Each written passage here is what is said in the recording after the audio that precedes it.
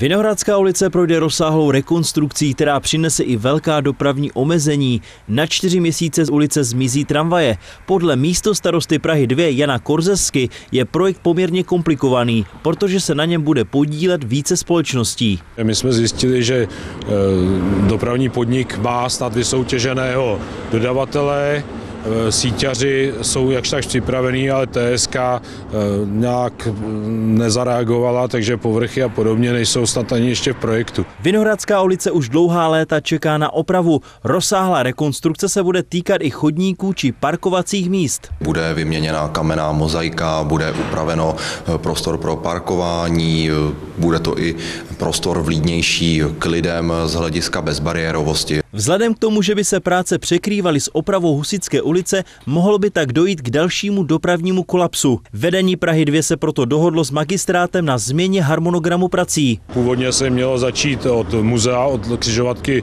Legerová, Vinohradská a jít směrem nahoru, což v tuto chvíli s tou Husickou je naprosto v kolizi. Takže jsme se domluvili s panem Dolínkem, že se začne opačně, to znamená od Želivského směrem k Jiřímu Spoděbrat. Praha 2 plánuje odložit začátek oprav o několik měsíců. Tím by se částečně podařilo vyhnout dalším komplikacím.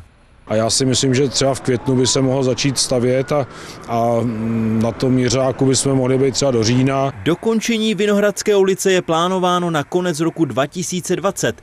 Celkové náklady by se měly pohybovat mezi 500 až 600 miliony korun. David Vilček, Televize Praha.